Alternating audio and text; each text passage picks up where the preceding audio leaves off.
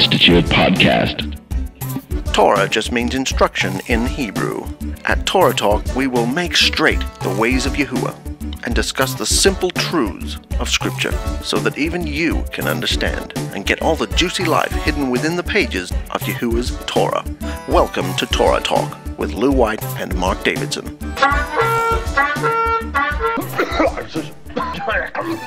the Torah zone.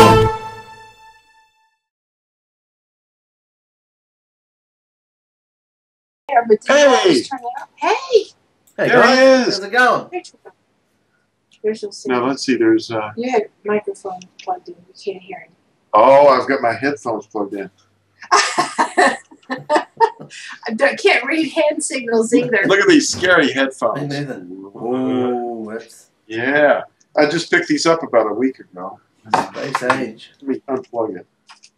Okay. Hi, brother. How are you guys? Hello, hello.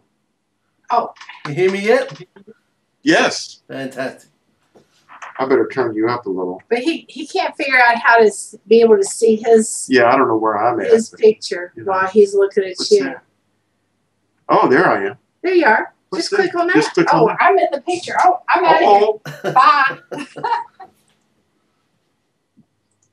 okay. Well, Here we go. how was your week? Oh, it's been a full-on week. Busy, busy. Yeah. Yeah, you Well, Shabbat Shalom to you. Thank you very Shabbat much. Shalom. Shabbat Shalom. uh, actually the uh, during the time we're going to be recording probably sabbath will arrive here Wonderful. you know so it'll be it's sunset you know i think it's 640 Yes. so how's your how do you do your lighting Oh, I've just got this is a fluorescent light up in the ceiling. That's Oh, all- okay. that's all. It's very different today because it's daytime out there. yes Um, so normally it's nighttime. So yeah So we, we've switched. Okay, We've, we've switched it round, brothers and sisters. We've switched it round. It's now uh, coming into night time for Lew, and it's uh, morning time for me. So I'll be the groggy one. uh, yeah well i might be groggy too but uh, i'm groggy all the time. But i'm not as groggy as i would be though. I totally understand. Yeah i was uh, heard myself saying uh, some really strange things you know backwards letters and you know words coming out of nowhere. Yeah, you were tired last week, weren't you? oh last week it was i was so tired. Yeah i had and i had a pretty good week this week. Uh, I, I rested uh, fairly well but i had a hard uh, you know a lot of work to do last week though i had to work an extra day so i had to well i don't mind working six days you know the girl that we have that works for us had to have some time off because she was moving Yeah. so I uh, said, "I'll do it. You know, not a problem." So um, now, what's what is this um, place that we're in here? Well, well we're sta we're standing up on we're sitting up on top of a high mountain, and uh, looking down behind us, you can see the Hanging Gardens. Down there, the Hanging Gardens of Babylon. We're in Babylon this week. Unbelievable. And uh, you might see a few ships go past a little uh, down the river. Uh, yeah, amazing. Torah Oh, Institute. Torah Institute has sent us to Babylon. Mhm. That's amazing. Yeah. So uh, I wanted to ask you if you if you knew anything about the seven wonders of the world. Did you? Uh... Welcome to Torah Talk, brothers and sisters, number fourteen now. We're uh, we're back on the radio apparently. Well, I don't think we left, but um, I don't think I got to tell you. Um, we did about six shows, and remember I said to you, I'm not going to put them on the the audio files anymore because I don't think they're using them. Well, I uh, I got in trouble. I got an email from Christopher, the the uh, the guy who runs the state, the Na- Nazarene network radio station, and he said, "We've been playing your last one for the last few weeks. When's the next one coming out?"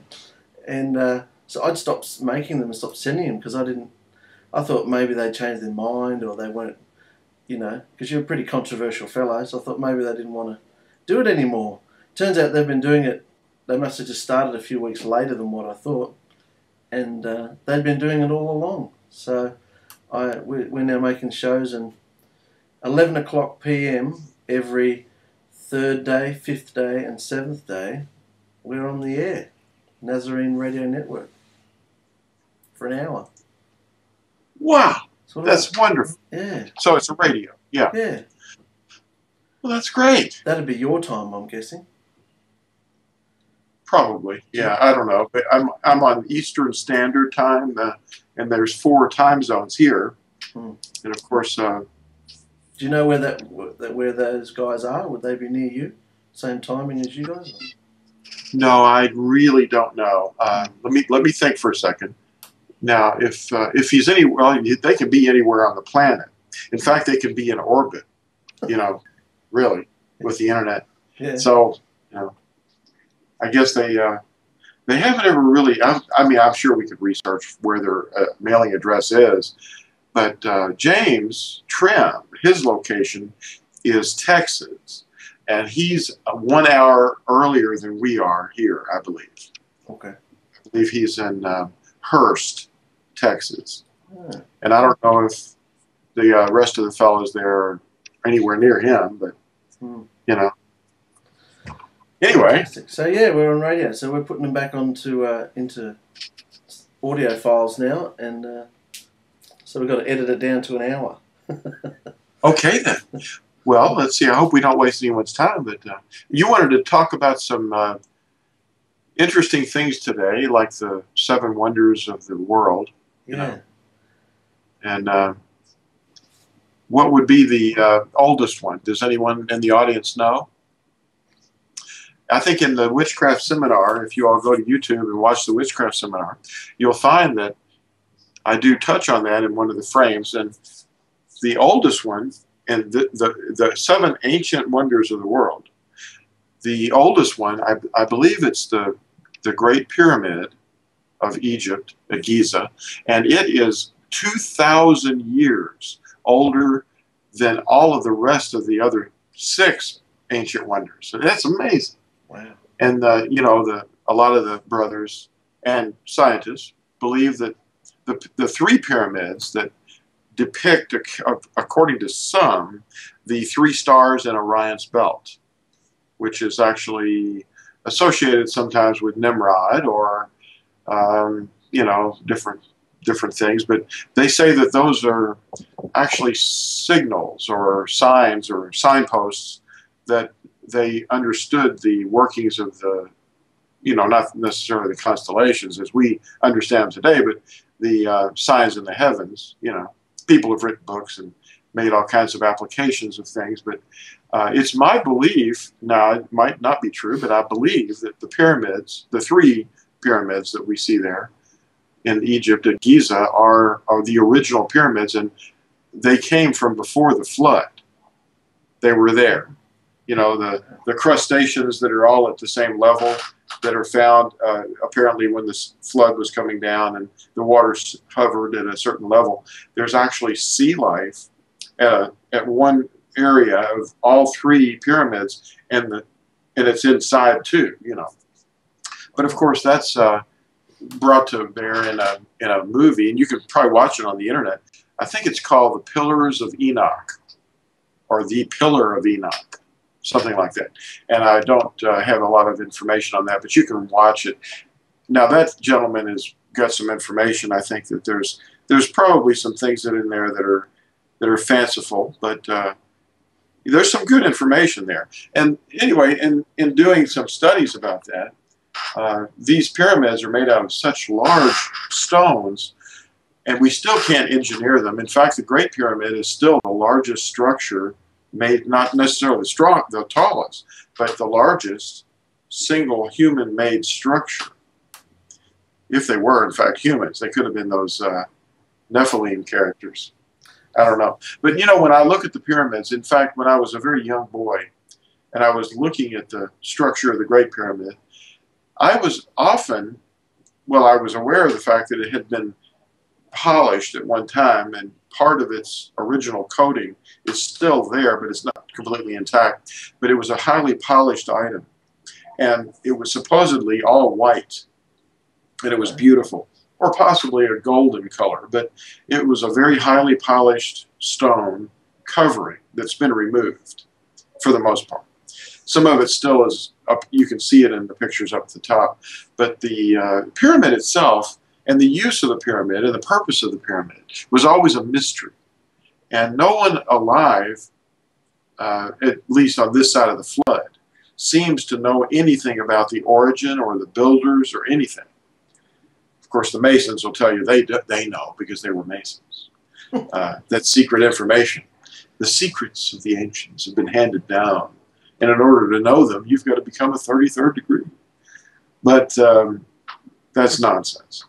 The fact is, though, that those things, if I were building an object like that, now that's just my personal view. If I were building an object like that, I would probably be building it because there was danger and I would be building a fortress. And it wasn't a temple, obviously, although it could be, but I don't I don't see it as a temple. But if it is a if it is any kind of a temple or an object within a temple, it would possibly be referred, being referred to at Yeshayahu or Isaiah chapter 19, verse 19, starting at verse 19. Because, uh, you know, I, I could read a little bit of that later to you. But in, in general, though, it looks like a fortress. And in the ancient world, the descendants of, of Seth, Seth, Yeah. you know, the one that was born that was sometime after Abel was slain, and the son Seth was of the righteous line. Hmm. And apparently his descendants, or possibly even him, were involved in designing this structure. You know, I don't know. That's one of the myths, you know, or the sayings that people have surmised over the years. But, you know, that's possible. But that's the oldest of all the seven wonders, that pyramid. Those three pyramids, really. You know, but uh, let me let me have a look at these.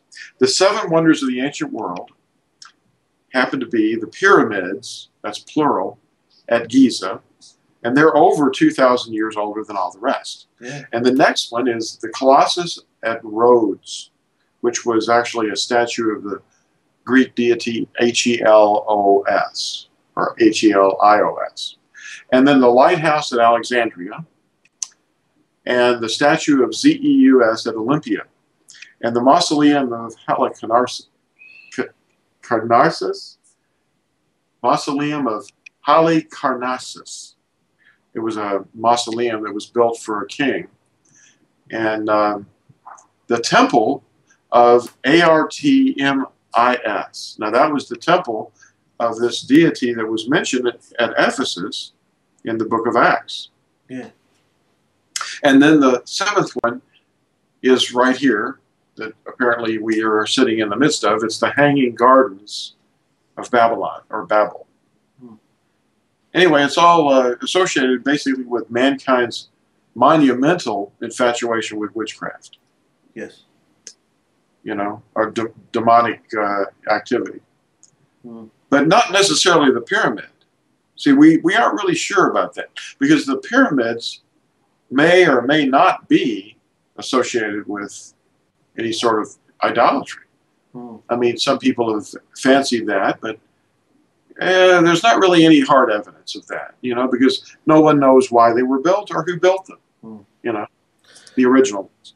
We've always associated the pyramids with Mitzrayim, and Mitzrayim was obviously, Yeah. you know. Well, if you look- nobody really likes Egypt, do they?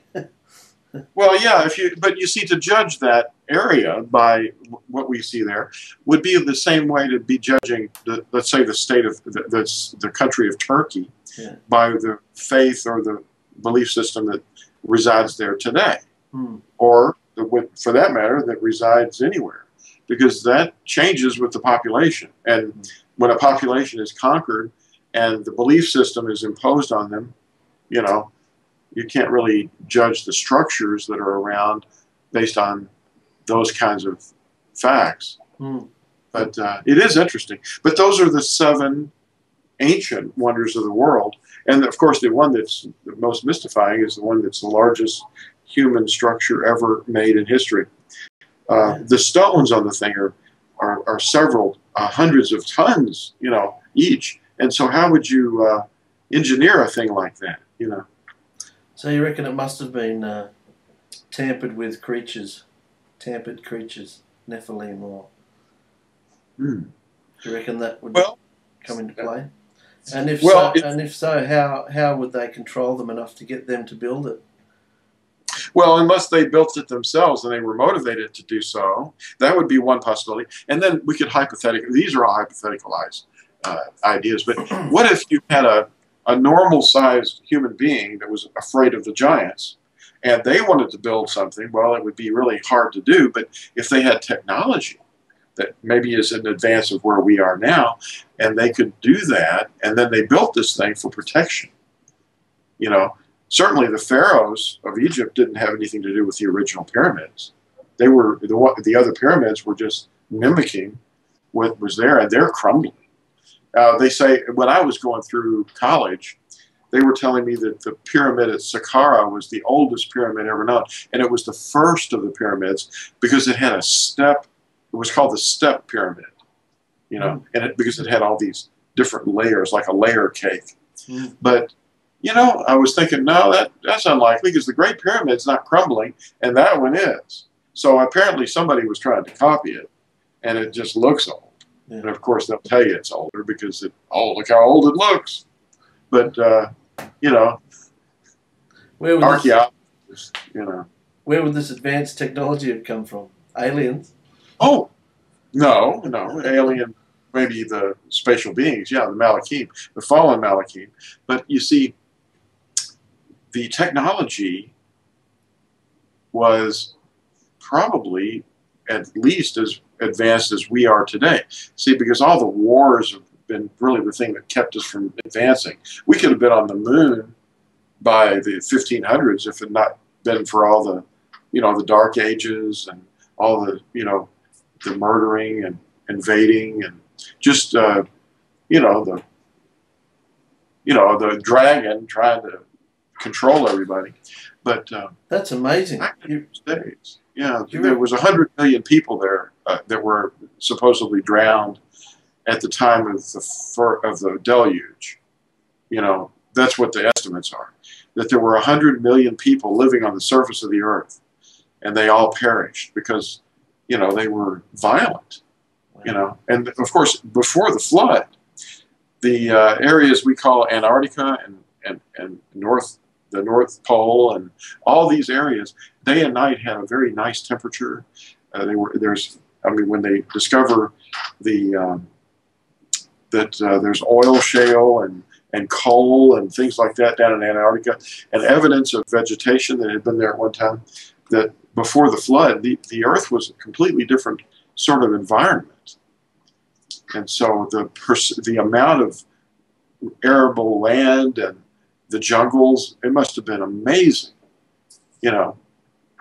wow. That's But amazing. today, you have a terrible time, you know, just getting the land to do anything, you know. Hmm. That's amazing. You reckon we could have been on the moon five, six hundred years ago? Well, technologically, I'm, I'm speaking. I don't really want to go to the moon, but unless I've got my immortal body.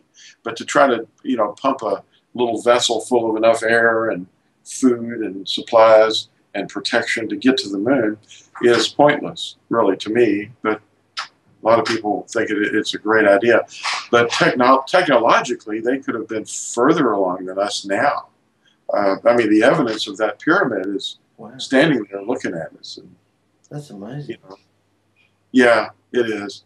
Now the other seven, the other six wonders of the ancient world, apparently they're not around anymore. You know, but that one is still standing, and it was two thousand years older than any of the other six, and they're gone. So, you know, Wow. what's that saying?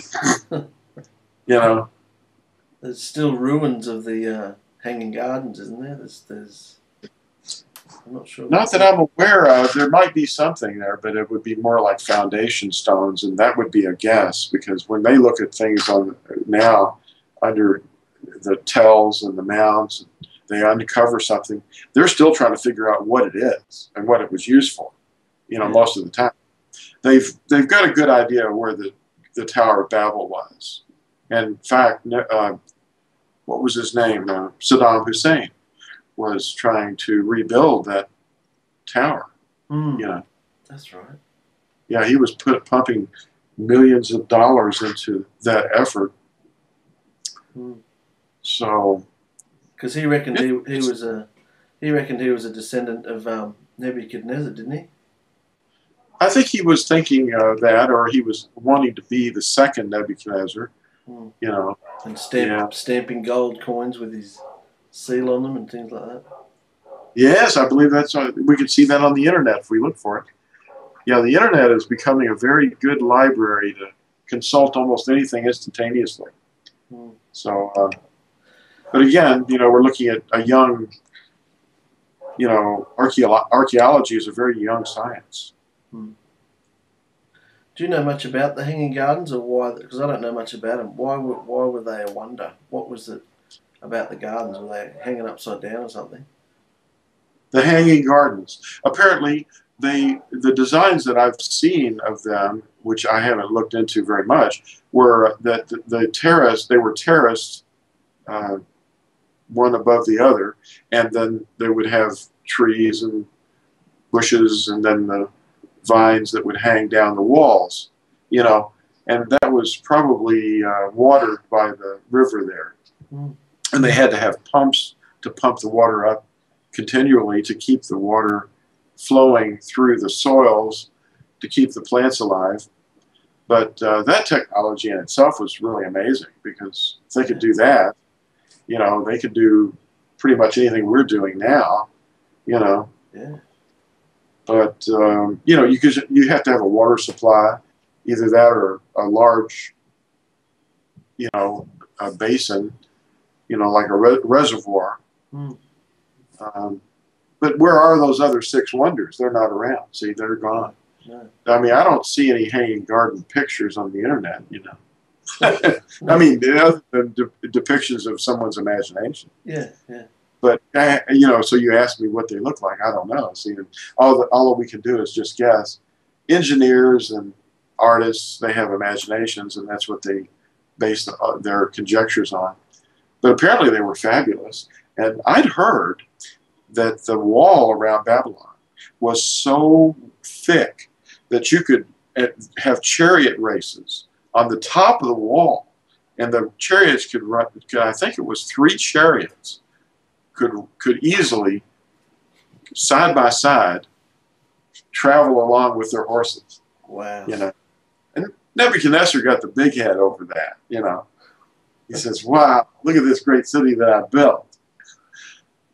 Well, that was just before he turned into an animal, a beast. Hmm. Yahuwah, you know, took his reign away from him for a few years. Hmm. Yeah. With the pharaohs, do you think they were? Um, you know that gold picture we use on the immortality study, and uh, it shows that uh, you were using that gold picture as an illustration of how uh, elongated the heads were, and how because of the genetic mutations and stuff. Um, Chris's son Matthew came back from uh, Europe, and they'd been to an exhibition at the Louvre about uh, Egyptian uh, Uh-huh. ancient, Egypt, and they was they had a tour guide, and they were saying, oh, they used to, you know, like they make their necks bigger or their ears, you know, when they're kids in Africa and things. Or they said in Egypt they'd be stretching the kids' heads to make them elongated. So he was Wow. bas- he's basically saying that it wasn't um, geneticness at all. It was they're just doing that to their own kids to make their heads elongated. But Well, uh, yeah, I don't. uh, Yeah, I understand that that um, might be possible to some extent, but not to that extreme. I don't think. You know, that was. Did you see the way those heads looked, and and the necks were really little, and then you have the uh, strange thing that's going on with uh, the hat that the pharaoh's wearing. you know, and the, and his wife Nefertiti is sitting there looking pretty uh, suspicious with that giant thing covering some kind of, you know, I don't I don't really buy that because the, the volume of the head, the volume was just not the same thing. Because if you distort a skull while it's somewhat soft, you still don't get more volume out of it, you know? Yeah. You know what I'm saying? Yeah, yeah. You, you, all you'd really do is push it into a, a little small little bundle, but you know Yeah. that thing, it just doesn't look right.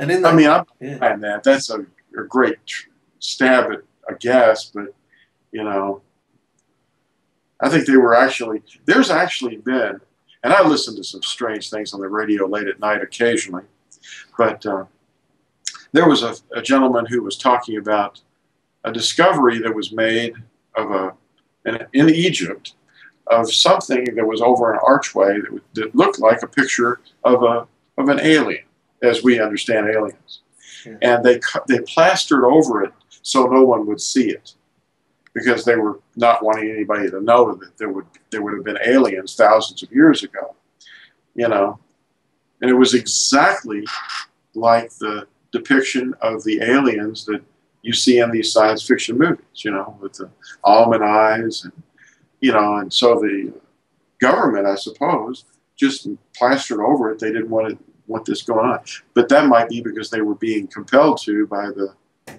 you know, the Nephilim or the people that are. See, Nephilim doesn't necessarily mean what people normally think. It doesn't mean a giant. Right. A gi- that it, Nephilim means fallen ones. See, that's what it means in Hebrew. So the fallen ones were the messengers, and they were meddling with human genetics, you know, Hmm. and uh, they still are, and continue. Ha- they have continued to throughout time. Right now, the science of the that they're messing with in the you know the genetics of vegetation that we're trying to we're trying to go to the grocery and we're trying to find food and there's these uh, weird genetically modified objects that really uh, they have no seeds you know and uh, he, he didn't give us food without seed in them but we see these things today because they've been messed with and the ge- genetic material of other other animals and plants are being mixed together and to make these really strange objects that we go to the grocery and see. Hmm.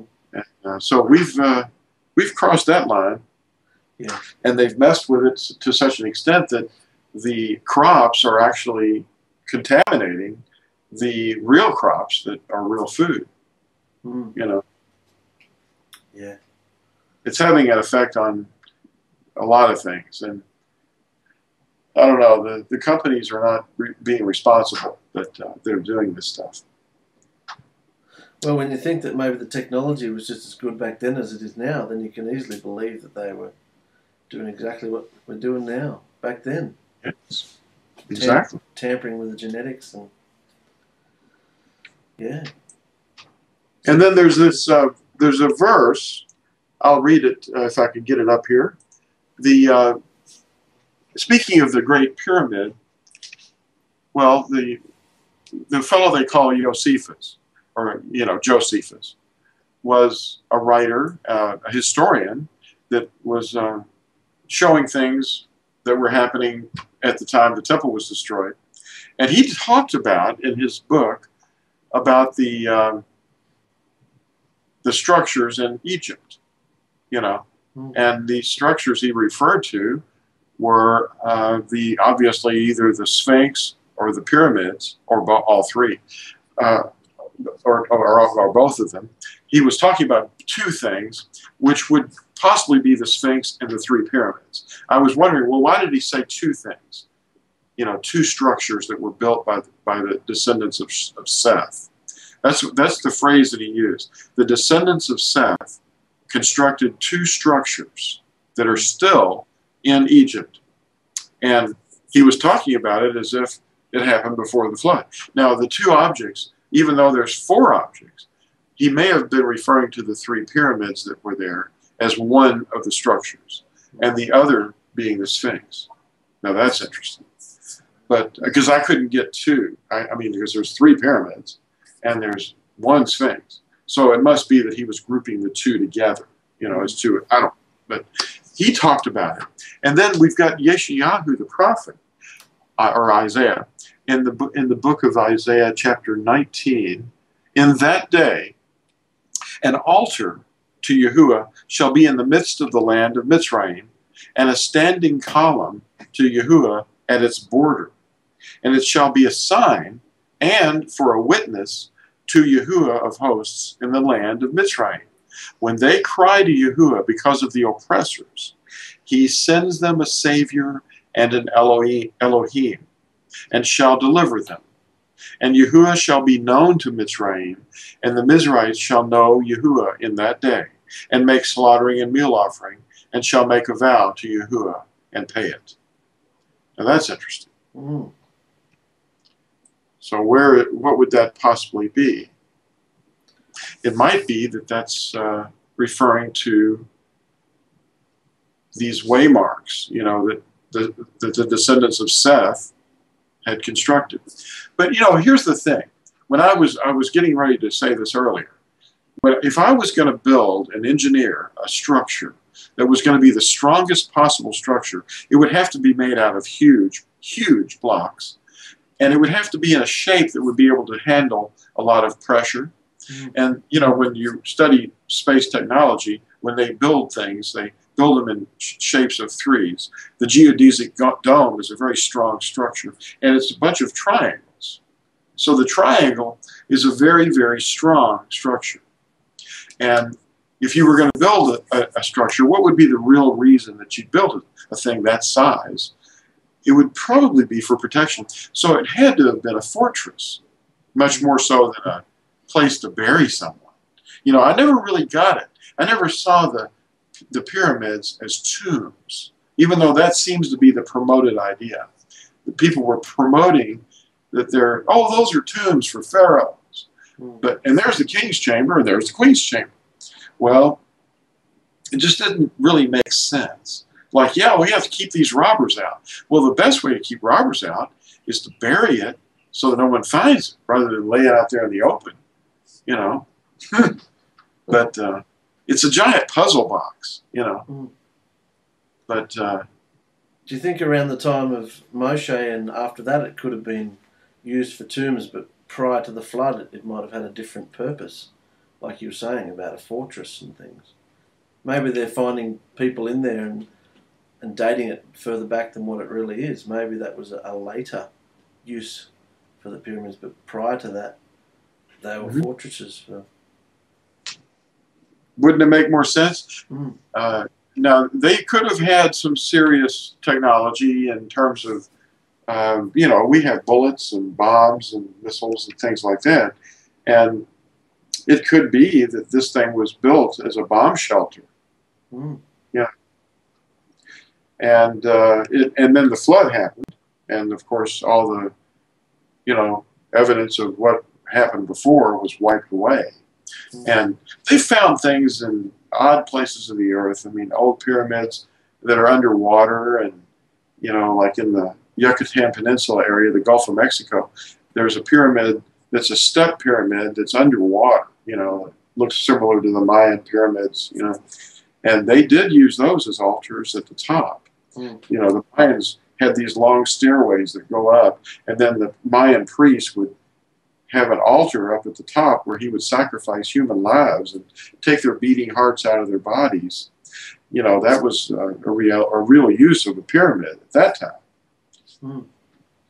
And uh, but the, but the pyramid at Giza, the Great Pyramid, and the other two smaller ones, they seem to be older than much much older, Hmm. and uh, the uh, you know the other structures of man are all dissolving but they st- they're still here, and it may be that you know Isaiah or Yeshayahu 19 is describing these.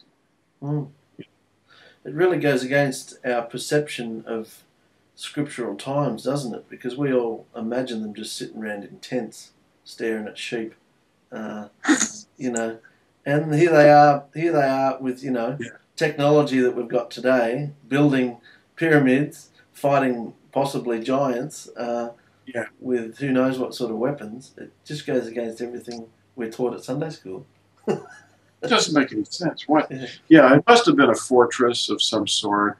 Uh, it had, like you say, uh, it may have had a later use, but no one really can can say that they. Uh, uh, no one ever read a document that explained what that thing was, and, and uh, you know the books of Enoch. I guess we could study and look for clues in there because they had to have been written before the flood. You know, because Enoch lived before the flood, and uh, if anything came through about it, that would be great.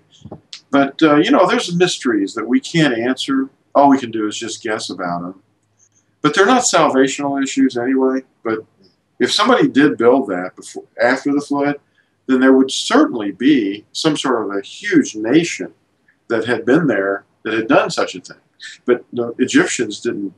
You know, there's no pictures uh, like the in in some of the tombs and structures that are in Egypt uh, that were built thousands of years ago, 3,000 years ago.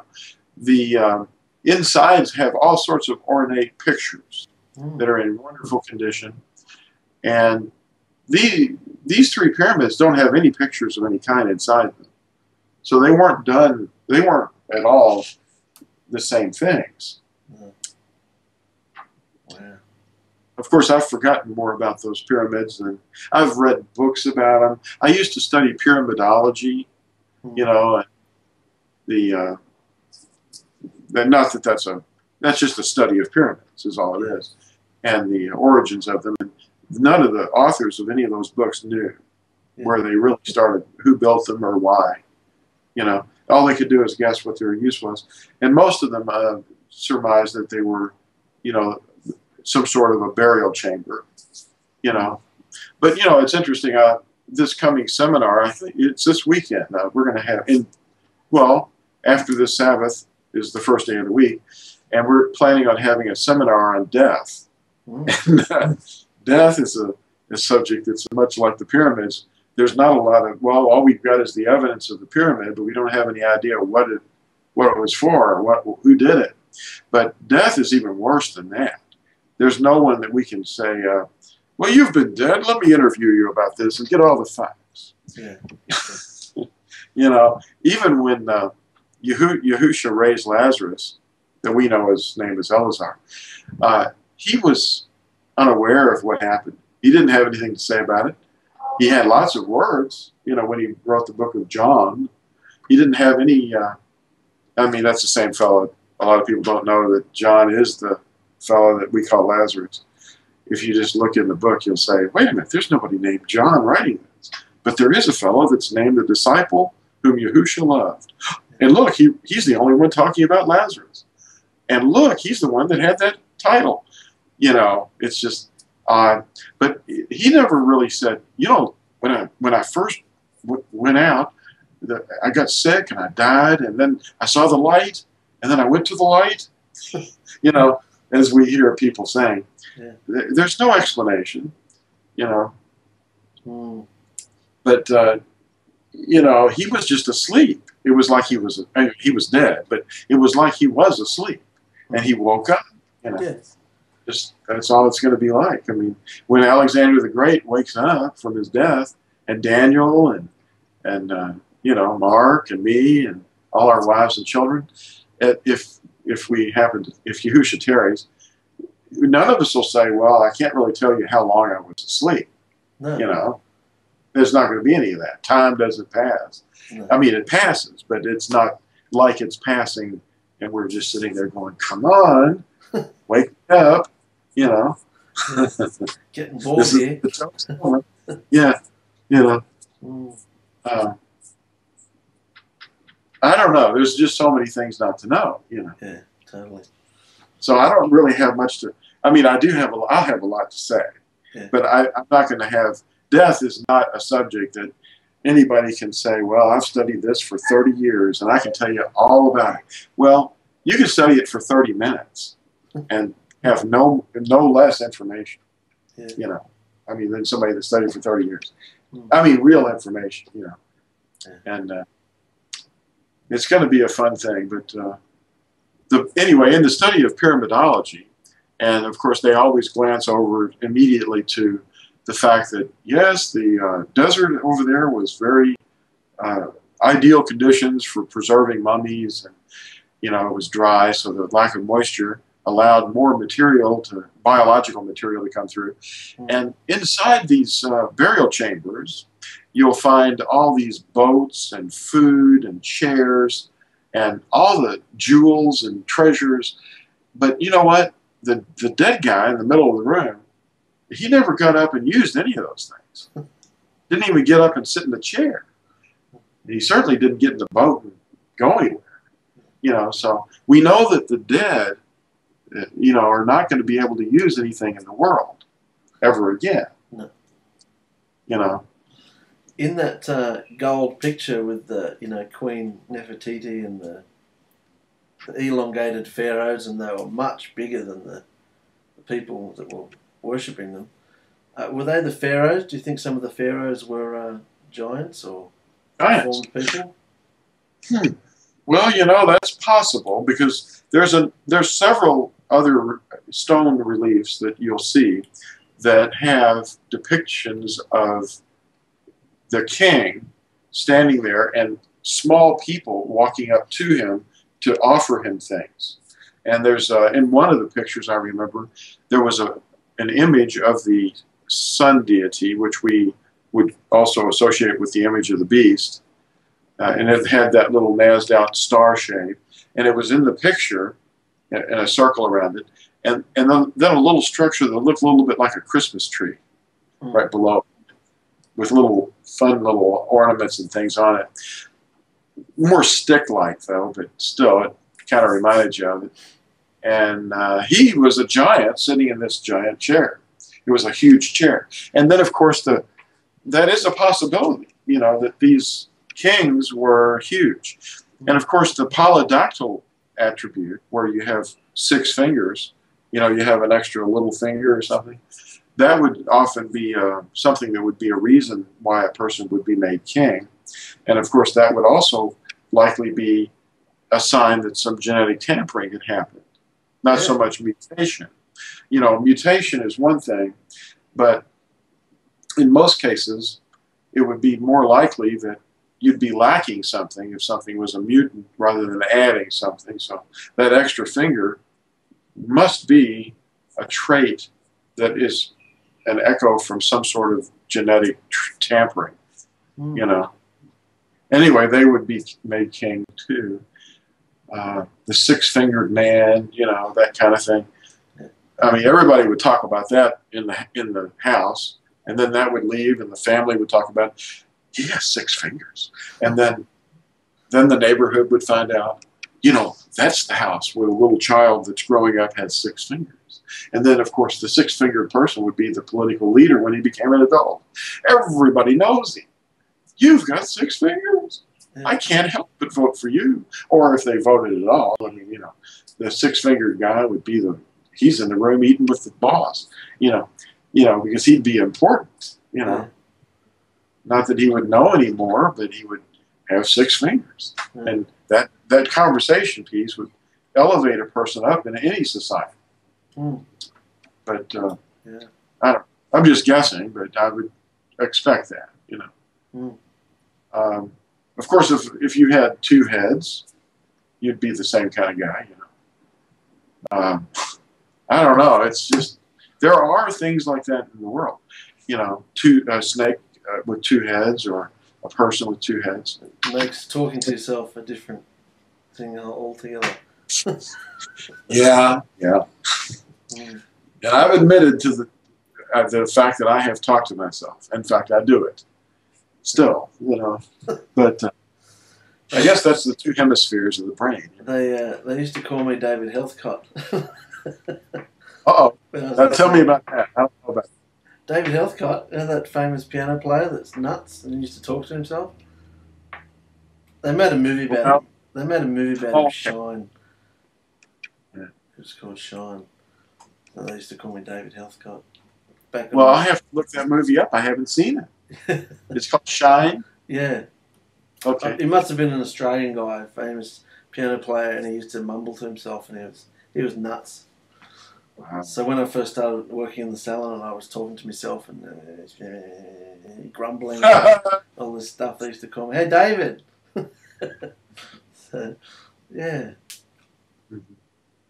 So do you do you think? Uh, have you looked into much of Egypt around the time of Moshe? Do you think when people say that Tutankhamun was the uh, Ramses or the Pharaoh's son because he got knocked off, you know, the Pharaoh went out to kill his, Israel and he got drowned in the the Red Sea, and so he, they had a, a temple waiting for him, and the must be Tutankhamun. That was the Pharaoh's son that died in the uh, in the last plague.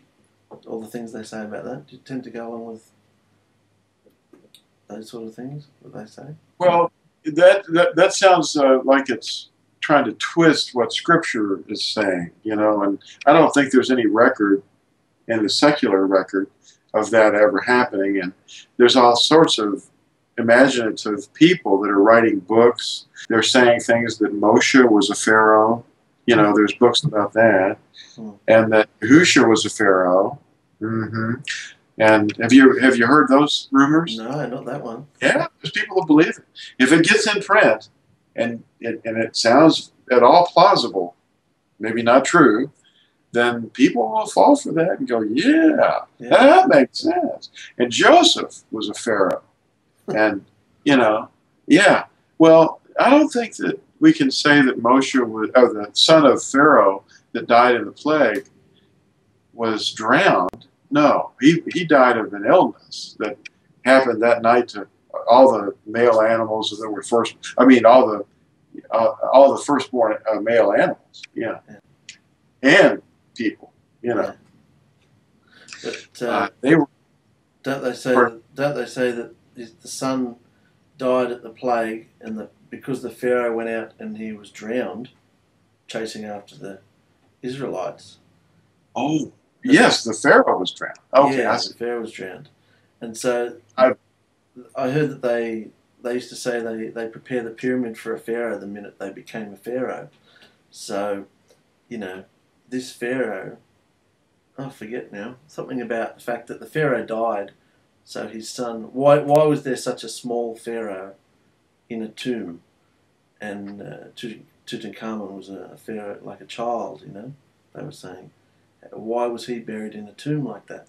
And they're saying, well, those that were trying to prove the scriptures were saying, well, because the Pharaoh went out and was drowned, and so his son, who wouldn't have had time to have a pyramid made for him, because he was still a child, the child was buried in the tomb of his father because his father never came back.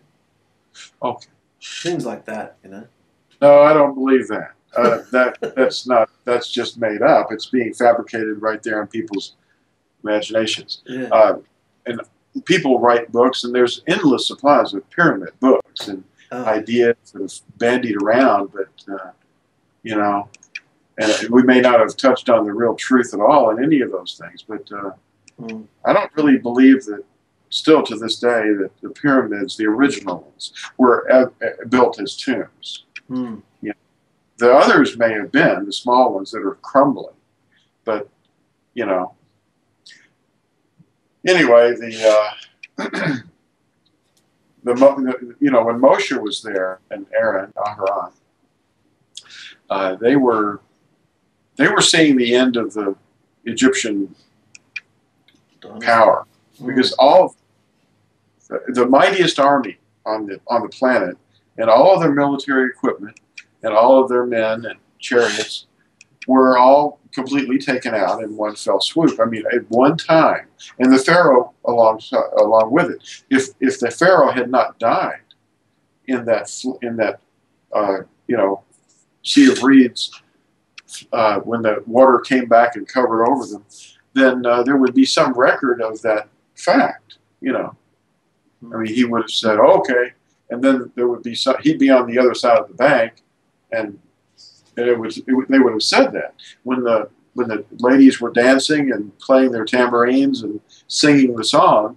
Hmm. Uh, you know, I think they described that uh, Pharaoh died.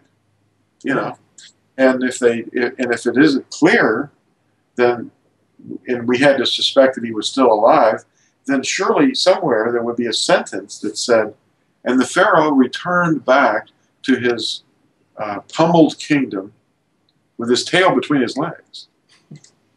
Doesn't say that. No. I mean, he was he was done for. Yeah. That was the end of it. Yeah.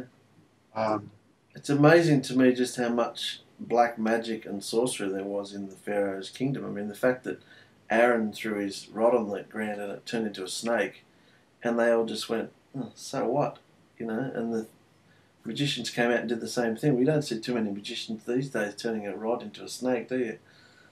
So no, you know. maybe in the higher levels of black magic, but not in. Well, yeah. Well, you know, that's just it. In that witchcraft seminar, I do discuss the fact that even uh, the Reagan administration was using, and they during World War II, the Germans were using it, the British British were using it, and they were actually consulting, you know, psychics and Mm, mentalists, you know. mm, So they were actually trying to contact the spirit world and uh, conducting Star Wars. I mentioned that. So, I mean, not the kind of Star Wars that, you know, we're talking about today, but, you know, astrology, you know. so we've got that uh, in, in government. And of course, if they're doing it today, um, we aren't hearing about it. I'm not hearing a lot about, you know, the President of the United States or other world leaders and what they're consulting. They don't let us know a lot of things. They they kind of keep things to themselves. They hold things close. They don't let out a lot of information. What's going on? You know, if they're meeting, you know, with people under Area 51 or whatever, I don't know. You know, if there's fallen Malachim and so forth living there. Uh, which brings up a subject. You know, we've had a, a terrible time here in the United States with uh, people crossing the borders of our country from Canada and Mex- and Mexico, and just walking through them like there's no problem. There's line, there's camera footage where people can have recorded just long lines of, of people going through the border with backpacks loaded with drugs and and, and you know contraband and weapons and all sorts of things coming into our country in the United States. But they can protect the, the boundaries of Area 51, but they can't seem to protect the boundaries of the, of the nation. If they mm. wanted, if there was a will to do it, they would, you know. Yeah. But it's so bizarre. Hmm. So, It's amazing that Area 51. You go on YouTube and look at things, and people just go, you know, joyriding around in their jeeps, and they get, you know, shot at. You know, it's amazing. Yeah. Arrested. yeah, they're in the and, kills. and they're not even close yet. They're like, you know, kilometers. Not even close. No. Amazing. And believe me, uh, the military that protects the Area 51 and other bases and embassies, they will kill you. And they won't have any qualms about it. When I was stationed during the Vietnam theater, uh, I was uh, stationed in Okinawa. And then I would go to Korea, you know, back and forth occasionally for a few weeks, you know. And while I was there, we had a curfew every every night, and at a certain time every night. I don't remember exactly what the time was, but you had to be on post or you had to be on base, or the Air Force base. Uh, and if you weren't on base, you had to be off base inside of a building, and you could not be out on a street.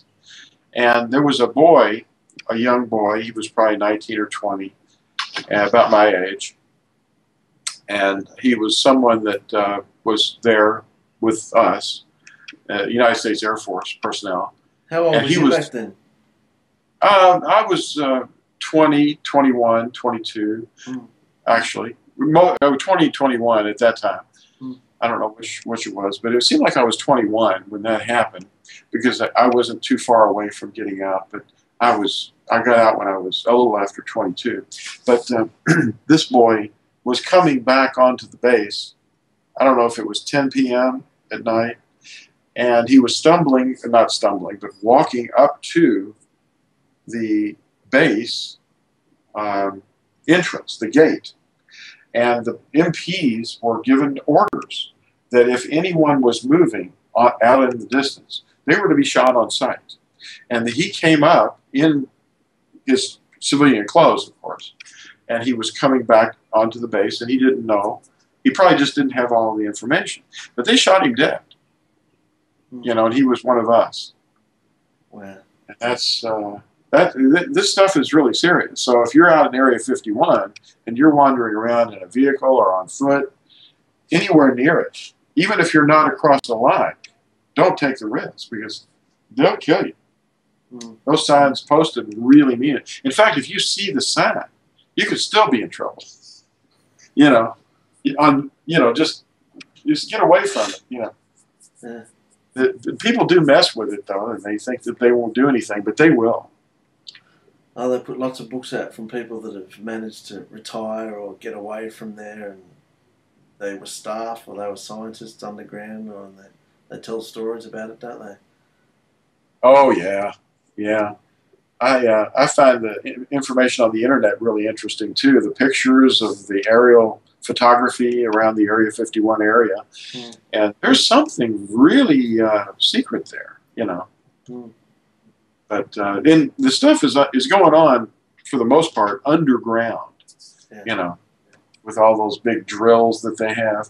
In fact, it wasn't uh, too long ago, a couple of years ago, Phyllis and I were driving along on one of the expressways, and over on the overpass of one of the expressways, we saw this enormous cylindrical object, and it was enormous. The uh, trailer that it was on had wheels that it had wheels all along the trailer. It was an enormous trailer. It was bigger than normal. It had wheels not at the front and back, but it was wheels continuously. You know, like uh, centipede wheels. You know, and uh, the truck that was pulling it was huge, and the thing that was on it was uncovered. It was one of these drills. You know, Wow. underground things that'll go through rock. Hmm. And yeah, and they're manned, as I understand it. The the the, the, drill has got a, a team of people that are inside of it. It's like a missile, only it goes real slow through solid rock, and it drills corridors and tunnels, and that's what uh, this thing was. Hmm. It was a really, really alien, uh, to use a strange word, bizarre piece of equipment, technology that you know you don't see every day. No. It's really interesting, and I'm a kind of a science buff, and I've always been into it. I mean, for many, many years, I just studied science only, and you know, cosmology and biology and all those things, and uh, archaeology. But then, you know, and I figured uh, after a while, I figured, wow, these people really don't know what they're doing. You know, at least the the material that I was reading. You know, and they said, yeah, well, we act like we they know they know stuff some things, but all of the stuff that they're venturing into are just guesses. So I just got kind of tired of it, and I wanted the truth. So immediately, I my wife had arranged for me to have a copy of the scriptures, and I remember distinctly the day that it happened. It, I just saw the scriptures, and I realized that this was the scriptures, the word of Yahuwah. I didn't know his name, but I, I saw something laying on top of it, and I and I in my, inside my heart I was going, even though I'd never read a word of it, I knew that it was Yahuwah's word, and I saw this other book sitting on top of it, and I felt this in my heart. It was like something was in me, like I was possessed. A rage burned inside of me. And I looked at that and I said, nothing can be on top of this book.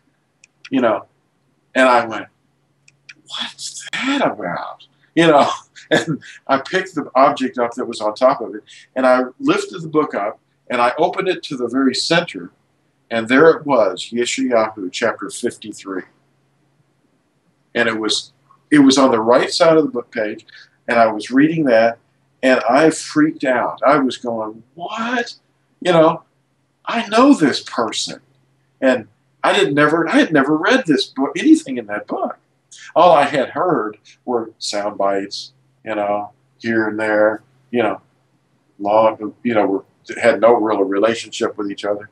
And I read this entire chapter and it traumatized me. And I closed it and I said, I've got to read every word of this, you know. And it was so exciting. It felt like life was flying into me. And so that was when I opened it up to the first page, same that same few moments, minutes, and I read the preface because I had, I had committed myself.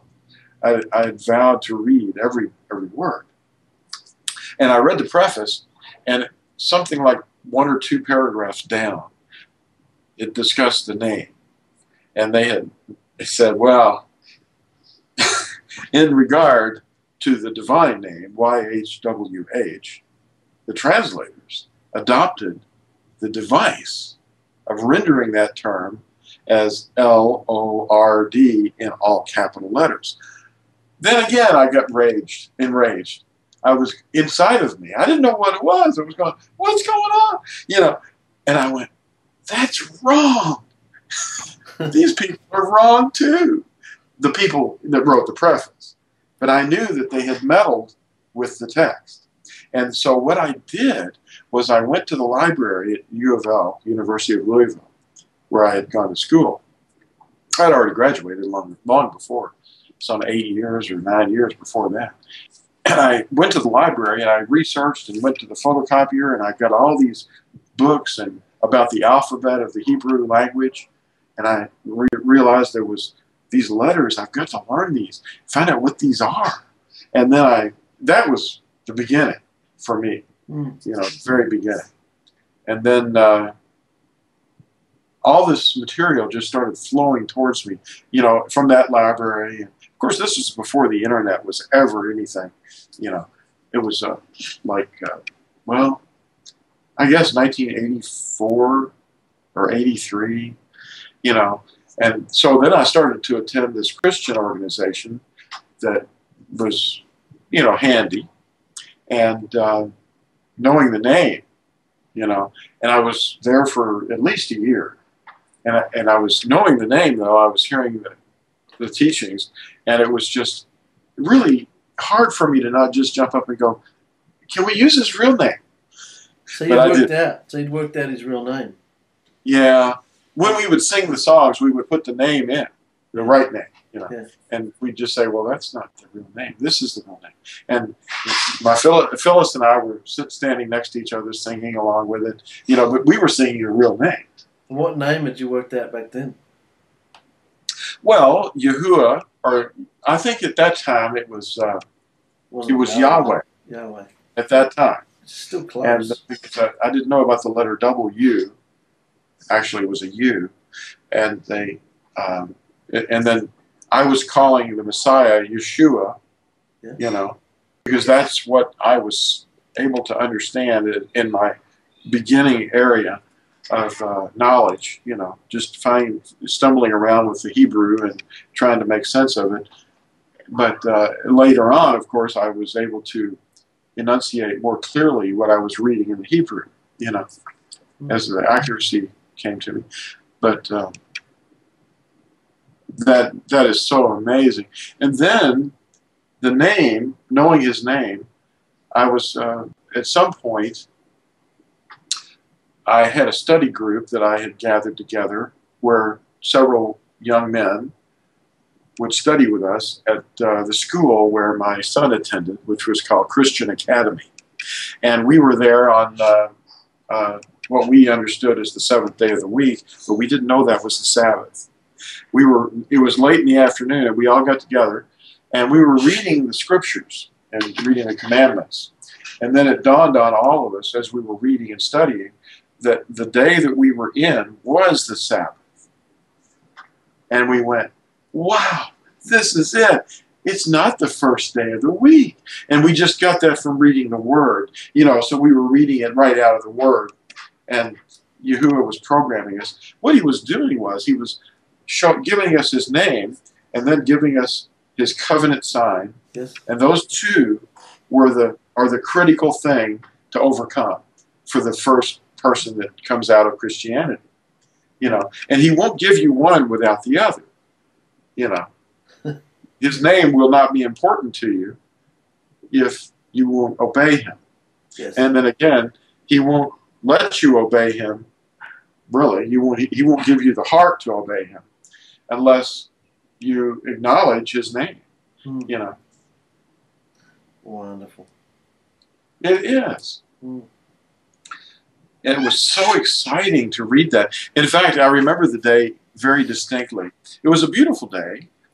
It was a fine temperature. It wasn't hot, it wasn't cold. But we would not drive home.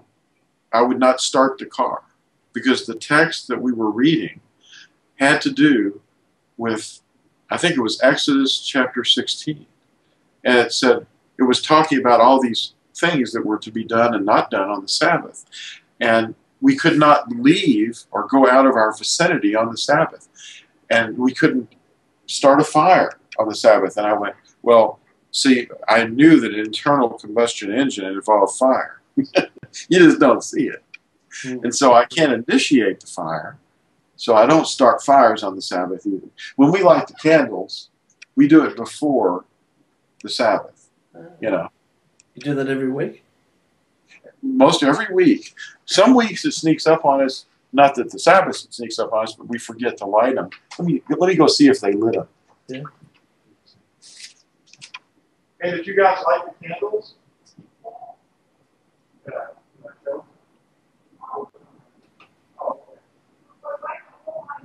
Oh, okay. Yeah, yeah, yeah. They did it. They did it. What it was, uh, sometimes we'll light the whole menorah, but sometimes we'll just light a, a, a candle. And the candle that we light, we can extend that fire from there to any other candles once we've started the fire. Clever. So initiating the fire, you're okay as long as it's you know. That, that's just one of the th- little things we do. Why do you light candles on the Sabbath? Well, we don't have to. But we, we do because we like to like well it's something that we that started with training the children in the way that they should go Yeah. and now my son adam is a man and he still lights it you know Yeah. he just lights it and we we would light the the menorah and we still do light the menorah you know um, and we usually start with one candle and then we extend it to the rest of the candles you know Mm. so i guess that's why the the uh, Yahudim do the same thing with one candle. They have a, a shamash candle, the the, the the servant candle, Hmm. and then they light the other candles with it as the days go by. We Anyway, had, we had a candle lit, we just didn't have all Yeah, of it. yeah, yeah. There you go. Oh, wow. Anyway, Shabbat Shalom. Shabbat Shalom. Now, is it still Sabbath there? Yes, it is. Wow. What's it look like with uh, the menorah, with the uh, Hanging Gardens of Babylon? Oh, it's going to look amazing. So there you go. Wow. Anyway, Stunning. yeah. You see? It's a nice little menorah. They're real. If anybody thinks this is a fake picture, they can just look at the angles of the light on my face. Yeah. Hope I don't catch my hair on fire. Anyway, this is a, a wonderful thing to, to be able to do this on Sabbath. Mm. It's fun for me. Yeah. And I'm awake, you know. Yeah. Of course, I was pretty sleepy all day today. Yeah. I didn't drink as much coffee today because, see, I was running errands with Phyllis and doing Mm. things. Yeah. Did you get all my emails today? Yes, I got them. I read them not long uh, before I called you. That was Okay. a, a good one from the uh, the uh, summation about the ISR and everything about the. Oh yeah, yeah. I'd like to just keep that con- in constant prayer among all the auxiliary sta- staff of Torah Institute, and just keep everybody on the same page. And if everybody at ISR does the same thing, that would be great. Mm. And then uh, maybe something will change, you know, because we can't really do any more than pray, you know. Yeah. yeah. It's sad that um, people feel they have to cut other people down to promote their own thing, whereas if we all worked as brothers and sisters, we'd all be walking hand in hand. Like, yeah, well, give, give me a copy of that, and I'll I'll help you. I'll I'll, I'll who knows, you know, I'll um, stock it. I'll publish. I'll help Stock you. it. Make it available. Get it distributed. Disseminate it to the world. Yeah, and yet they, they they go about it the wrong way. Well, I don't know. I don't understand everything that people think, but uh, Yeah. you know, I guess there's, uh, you know, when there's doctrinal differences, they can uh, cause division. Yeah. And uh, I accept people that have really weird ideas. It's the ideas I make fun of that I uh, I, I participate in the uh, anthrop- anthropomorphic illustration of the idea. I'm not saying that you know, like I was saying in that one seminar, that the people themselves are not depicted as wolfmen. no, It's it's doctrine. You know, it's the teaching itself. That's what it is. that was a lot you know. fun. That was fun, wasn't it? Yeah. but people are easily offended and they misunderstand, and they always have. Uh, really, I was getting all kinds of. Uh, when I first put out my first copy of Fossilized Customs, I had all these angry people writing me letters going, you know, you're saying this about me, and I'm not. You know, it's not about a person. You know, the person that uh, originated the idea might have a problem, maybe, but you know, Constantine might. I might be able. To, He might be able. I am talking about Constantine, yeah, but the, he's just the origin of it. But the, the the spirit behind those kinds of people, though, is the dragon. You know, Mm. that's what Scripture says gives the beast his power. So the men themselves are are being used. You know. They don't really. I mean, if they had all the facts, possibly they wouldn't be doing what they did. But they, I mean, or have done what they did. Dragon hates the covenant, doesn't he? Yes, the marriage, that's what the covenant is. He hates the marriage and he hates all marriage. Yes. And he seeks to divide Mm. our house. And the house of Yahuwah is, I think, the, as the scripture says, the very first place that Yahuwah is going to start with to judge. And what better way to judge his house than to judge the hearts of his people among one another when he told us to love one another and we failed at that, even though it's so simple. Even though we might have differences, because we're all going to be at different places in the race, you know, we're not on the same page. But that's because we're not following Yahusha directly. We're following the teachings of men, which he said was always the problem. Yeah. You know, people stand up and say something really outlandish, and then they say, well, you know, that makes sense. I'm with you. And then other people go, oh, that's where the crowd is. Let's go over there. And then, uh, you know, and that's how Christianity started up uh, uh, getting so, inf- you know, big because people were saying, well, it must be true. I mean, all these people can't be wrong. There's 300 million of them or a billion of them. You know, how could they all be wrong? Hmm. You know, so all these little, you know, one of the things that I read from Brother Chris, he said that his experience was he was told by one of the denominational leaders that if you don't have a covering of a or organizational covering, I guess that's what he meant, the Nicolaitan, Yeah. uh, then you're not covered, and therefore you can't just be out there on your own. And I agree that you must be in com- uh, uh, fellowship, in, in, in community. Community is a very important aspect of it, but we aren't supposed to look at one another at any point, you know. Mm. We're supposed to look to Yahusha and what he said, you know. And if he says love one another, and the guy's doing things that is in your assembly that are obviously direct personal violations, and you go to the person and you say, You are personally violating this commandment, then we can go to him privately and say that. You know, even if it's a leader or a teacher, and we can say, Okay, this is the Torah command, and this is what you are actually practicing, you know. Mm-hmm. Oh, by the way, those accusers, where am I at? Uh, it's Sabbath. I'm not at the store, and neither are you. See, we're not there. No. See, so if they say we are, you know, it's just wrong. You know. Yeah. Anyway, that, anyway, those sorts of things need to be handled privately, and then if they will not hear, then we're to take it to the assembly after we've brought two or three others and they've refused. Then we can just say, well, you're just a, a regular outsider. We're not going to say anymore. Mm. But we don't mistreat them and throw stones at them or verbally libel or slander them because they're they continue. He just said, forget it. Yeah. You know, it's over. You know, they're outsiders.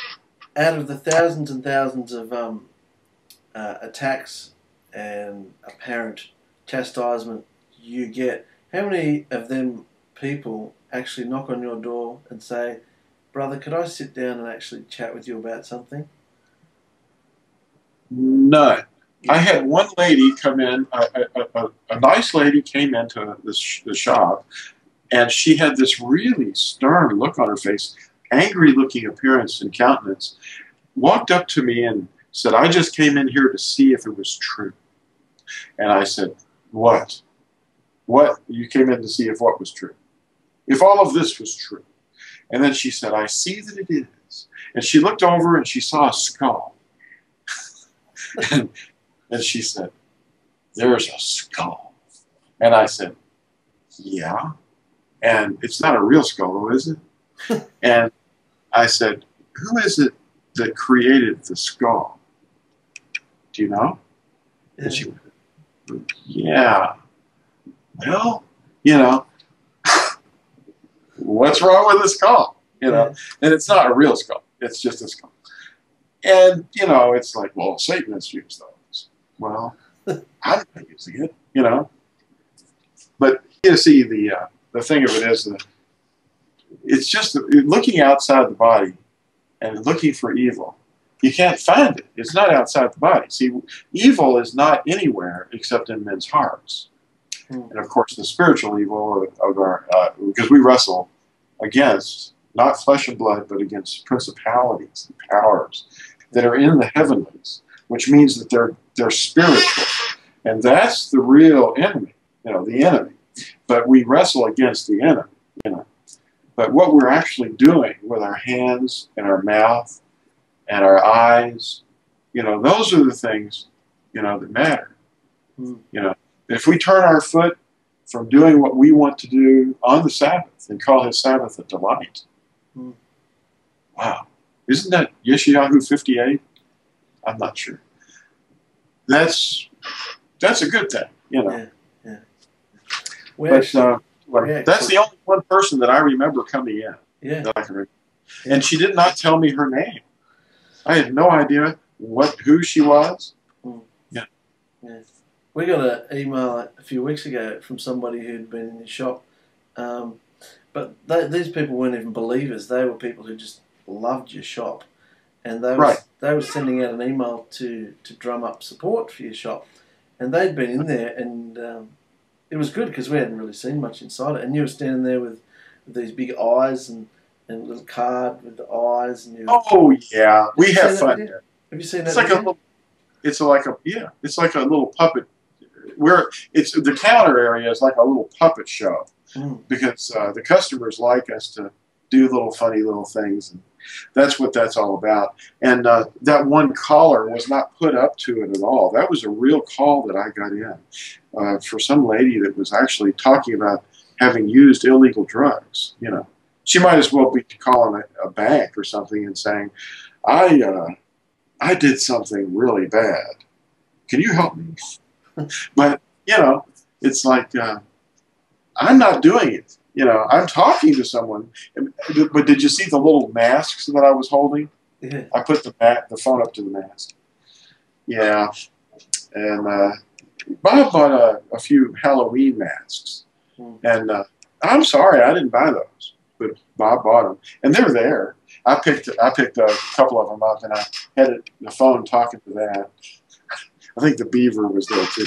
We have a fun little beaver that's sitting on the counter, Yeah. and uh, people want to keep buying. They want to buy the beaver, Yeah. but we won't sell them the beaver. Yeah. They love that little beaver. I put mustaches on it, you know, things like that. But it's just a fun little, you know, little scene, you know. I mean, I'm sorry that I, I have to be there at all because if I didn't have to pay all the bills that I have to pay, and the income that I get from that store I use on the ministry, you know, because I have to support a huge building. And uh, people do help with that. You know, they help support it because one person can't. You know, it's just too too enormous.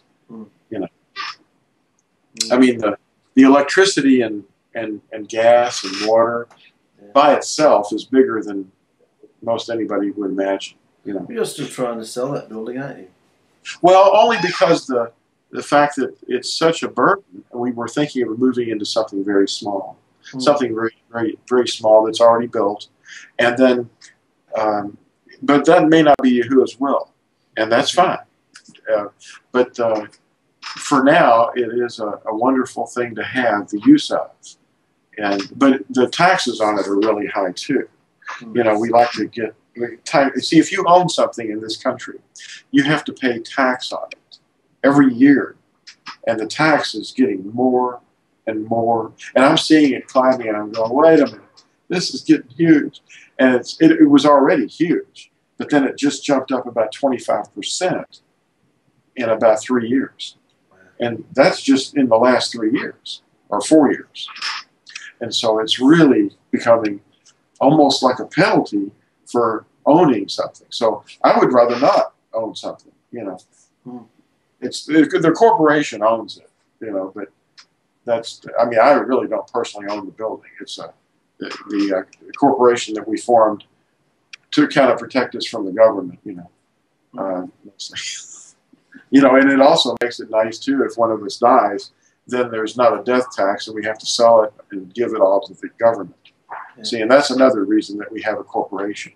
It isn't because we're evil, it's because by having a corporation, the corporation doesn't die. Hmm. See, I can die, and Phyllis can die, and Adam can die. See, that's the board of directors Hmm. right now uh, at the building that we have our Torah Institute at. But uh, if one of the three of us dies, or two of the three of us die, then the, then the corporation doesn't die. See, it stays there, and someone else will come in and direct it. You know, Hmm. maybe you. You never know. Maybe. Yeah. Yeah. If uh, if uh, let's say the George Soros or um, one of these really really fantastically rich billionaires watches one of the YouTubes that we've put up, and then goes, "Wait a minute, these people they they need to, to get some help," and then they give us enough funding, then you could come here with your family and we could all be together. Hmm. You know, Yeah. yeah. Or you can come here. or we could come there. That would be fine with me. Yeah. You know, I mean, I'd love that. You know, it'd be less radioactivity Yeah. because the you know these there's so many. Look at the northern hemisphere. Yeah. The nor- the northern hemisphere is loaded with all of these nuclear reactors, Yeah. and it's only going to get worse. Hmm. And they're spewing it out all the time. You know. It sounds like it's it's getting worse in Australia, but it doesn't sound like it's half as bad as the economy and the setup that you've got in America. It um, Yeah. with the Yeah. with the healthcare and the and the taxes, it doesn't seem to be that bad down here. No. Uh. Well, if you were to look at the global picture and then trace it back, it would probably be the, the demise of the economic circumstances is probably caused by the United States. Because if the United States gets a cough, then the rest of the world has the flu. Ah, I mean, that's just an old saying. But here's the thing if you were to go back in time and try to track the one event where the water in the bathtub, someone pulled the plug and the water slowly drained out, some 15 years ago, I may be off by a year or two, there was a document that was signed that caused the North American Free Trade Agreement to go into effect. And that meant that all the businesses that were here, the textile industries, the steel industries, um, all the mercantile, you know, huge firms were uh, vulnerable because the fact is everything was a level playing field suddenly, and that meant, that they were going to be taxed at the highest rate of the in the world, and they could conduct their business elsewhere in another place in the world. So slowly but surely, over the years, businesses and industries all left this country. And we were left with nothing but mostly white collar paper pushers that just sort of swirled around a bunch of paper. We weren't producing anything. We were producing, and then we weren't. And it was the North American Free Trade Agreement. And I don't want to slander the person that signed it, but he happened to be the president at the time. I think he was in the office two or three days at the end of his term, and then he signed that. And then the rest of the time, the water was draining out of the bathtub. And then that's what caused it. And then the whole world is now in that quagmire. But even if someone came in and said, well, let's go back and repair that, it would take 30 to 40 years to refill that bathtub. So in my lifetime, certainly, and possibly even my children, my, my two sons, they may not, not see what we had in the mid 1990s. Was that Bush or Clinton? It was actually George. It was uh, Bill Clinton, to be honest with you. Yeah, he signed it, but uh, it was a mistake, a business mistake, and it shouldn't have been done. But that was the pulling of the plug out of the bottom of the bathtub, and it took a long time for the water to go out. But the water that was leaving was the industry and the manufacturing and the producers. See, you, in economics, you've got two sides. You've got producers and you've got consumers, or you know, I don't want to get off on that subject, but you know, in general, that's what it is. And if you mess with or tinker with the producers, then that's where your your, your problem really is going to start. Hmm. If you let them go and let and just tax the consumption side, Hmm. then you're fine. Government can survive off of that, but it's not. It's tinkering with both sides. You know, and they did that. See, that's what they were tinkering with when they signed the NAFTA. They were messing with the production. Yeah. So we don't have steel anymore. This country has the fabulous natural resources. Hmm. And now they're attacking the energy sector. And that's going to really, it's already r- really frying our, our economy. And it's affecting the whole world too. Hmm. But uh, we don't have leaders right now that are very uh, knowledgeable about how business really works or the economic cycles, you know. But anyway, that's another subject. But uh, it is it is going to have impact on the whole world, you know. You think Yahusha might end, Turning their electricity off because they can't afford it, you know. What were you saying? you think Yahusha might, as he says, have to come back early because there might not be anybody left, as in nuclear fallout? Yeah, I think it's probably a nuclear thing. And you know, the thing of it is, just today I heard on the uh, uh, the news that Israel earlier today there were several ships coming towards Gaza, and the Israeli Navy was trying to divert them, and they stopped them, and they they said turn turn up to this other port so that we can you know we'll let you in that other port, and they refused. So they decided later on to board the ships. And I don't know, I haven't heard what they found, if anything. But see, the missiles are being shipped in from somewhere, and they're launching missiles now.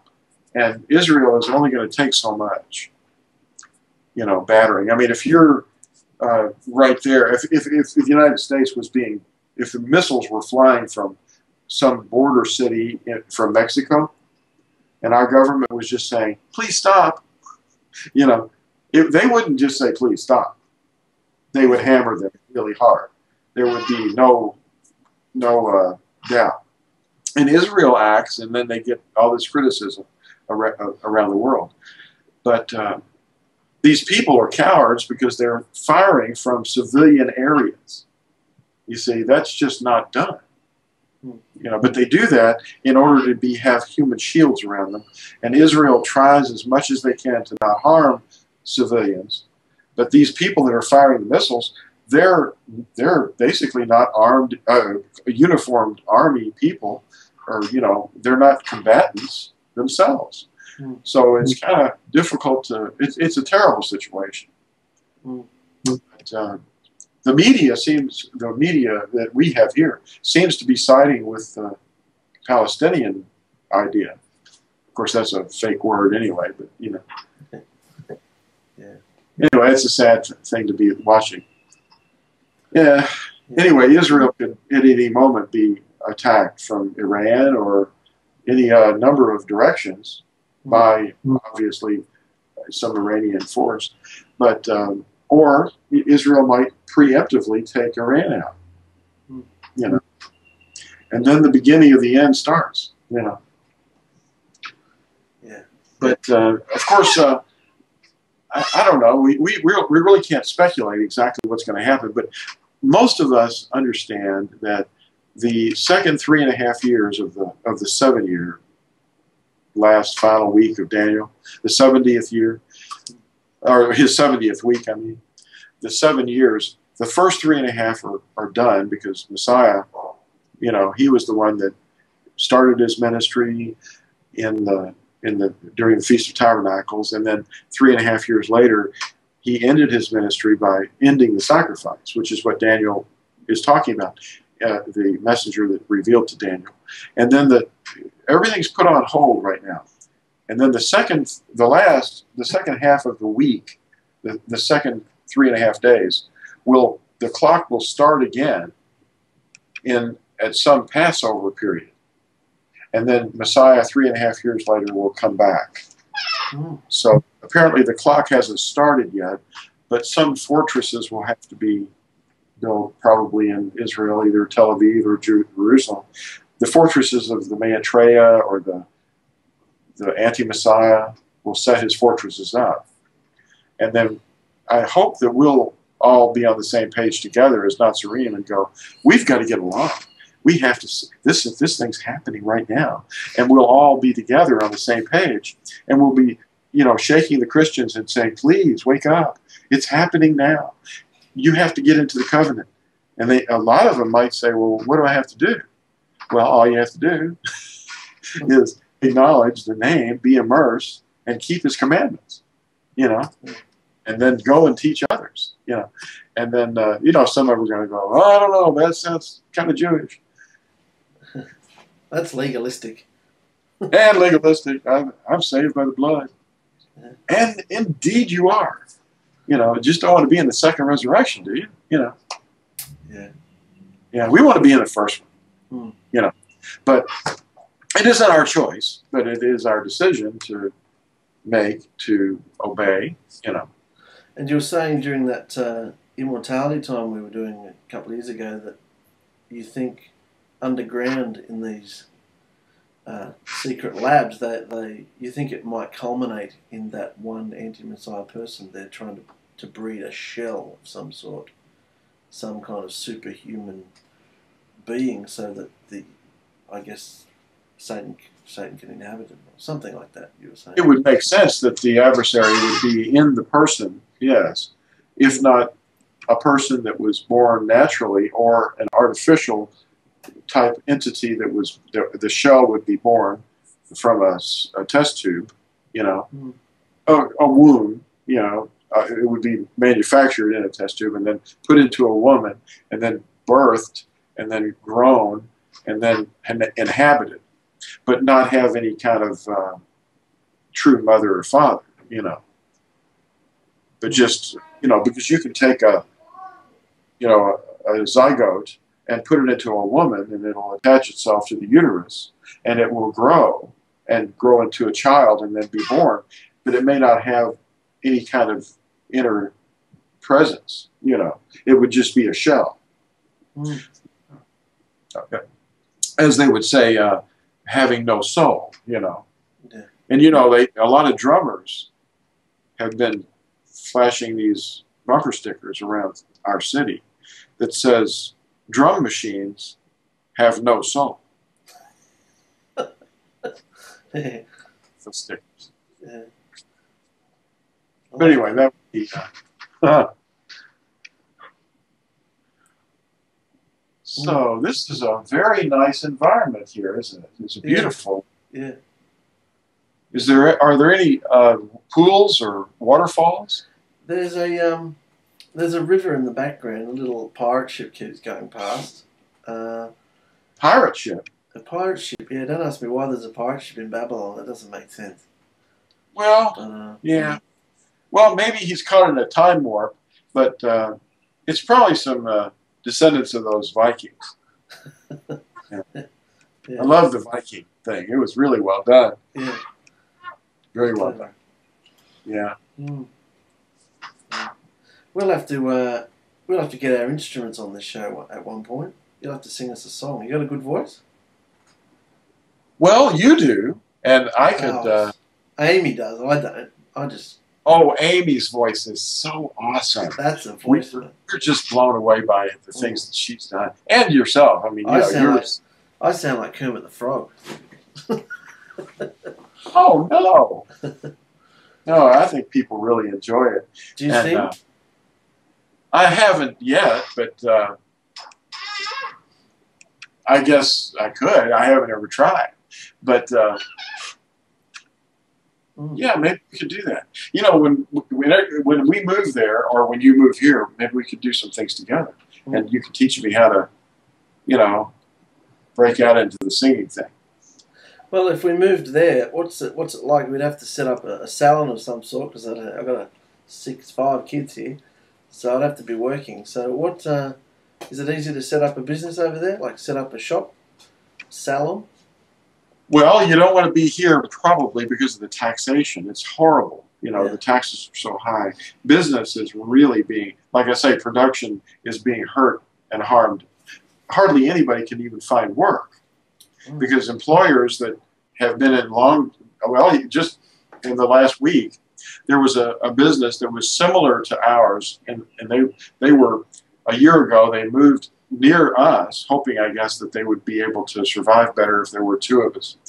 Uh, they were about a mile further down the same road, and they were hurting. And they had like 20 employees or more than 20 employees. And they moved to this location within our same block. And just this last week, they closed their doors. So that was bad news. I mean, I don't see, I don't think about comp- competition. I think that it's not about that. I think that it's more draw from the uh, general area if two places are there doing similar things, but they didn't survive. The owner uh, announced that they were ha- having to close, and businesses businesses are closing pretty regularly. Hmm. So starting one up is really hard to What get would- it going. What would happen if your, uh, not that you'd want it to, what would happen if your business had to shut down? What would you be, what happens to the debt, your debt? Can you file bankruptcy and just walk away clean or? You could, yes. I don't. I don't like to do that. You know, it's like um, right now. I feel like a, there's a, an analogy that someone once cooked up. It involves a big pot of cream. You know, you put cream into this big pot, and two frogs jump into the pot by accident, and one and they can't get out. They're, and they're swimming, and they and one of the frogs says, "Well, I, I'm going to give up. I, I don't see any hope. I, I can't get out of here." and I, I, it looks like I'm going to drown. So he just gives up. He says, bye bye now. And then he drowns. The other one says, I'm going to keep swimming until I get tired. So he just swam in circles and circles and eventually churned the cream into butter. And then he just crawled out. So I'm kind of feeling that way. I feel like we're in our 20th year, uh, 20th worst year in history. Last year was our worst year in 19 years. This year is even worse. You know, business is continuing to go down, but everybody's doing the same thing. I talked to the man at the hardware store, and he can't believe how bad things are. You know, and I've got one employee right now, and that's it. I had five a year ago, Hmm. or a little over a year ago. She's been with us just over a year. And when she came to work for us, there were four other girls working there. Hmm. Uh, Bob and I only hire one sex because the reason for that is because when we had one guy there, or actually we had two, one of the, the one guy there and, and, and girls, it didn't work out. You know, there were there were problems. So I mean, real serious problems, and uh, we didn't want to ever do that again. So. Anyway, so we made it that policy. But anyway, the thing of it is, though, uh, we went from five in a little over a year to one, and that's not good. But you know, Yahuwah could be in it if if you guys were to move here and start a salon. You could actually have it in the same building with uh, Strawberry Islands uh, Torah Institute Mm. because there's plenty of space on the first floor. Mm. But it would involve some plumbing. You know, you, you could probably take up half the floor. We've got about 2,800 square feet on the floor. You Do need you, do you passing. need? You need How much? passing. You need passing trade though for hairdressing. Is it? Uh, is it? Is there passing trade? People walking past all the time. Not walking past, no. Mm. They're all driving. Mm. This would be, uh, presently it's a two lane road, but it's about to turn into a three or four lane road with shoulders. You know, they're, the, the state plans on widening it, but um, since they're out of money, they haven't been able to do that. But they have uh, done some preliminary work, but uh, 1,400 square feet would be easily allocatable. You know, you know there would be uh, men's and women's bathrooms, and um, the plumbing isn't there yet. I mean, we've got the capability to put sinks in, I guess, but that would take a lot of money. Hmm. Yeah. How much is? How many square feet does your salon have right now? Uh, about eighty-five, I think. Well, Eighty-five square. That's meters, uh, square meters. I don't know what feet are. Okay. Three feet to a meter, I think. Yeah. So it's eighty-five square meters. Okay. So it would be uh, nine times eighty-five. Seven hundred sixty-five. No, that no, no. Yeah, Square feet. seven hundred sixty-five square feet. Hmm. Well, we could easily give you fourteen hundred square feet. That's double that. Wow. Unless I'm okay. Times. Yeah, it would be about double. Hmm. Interesting. Yes. Interesting. Hmm. And well, uh, we, uh, we have a five-year plan here. Well, that's you know you say plan, but uh, just to pay our bills and uh, and sell this business, and uh, we were planning to go back up north, but who knows what can happen in five years? well, yes. Well, we see what Yahuwah has in mind? Yeah, that's the thing. I I don't really care where we end up, So, as long as we're doing what he wants us to do. Yeah, wherever he needs us to be, you know, it's fine with me. Um, When you've talking- seen the building.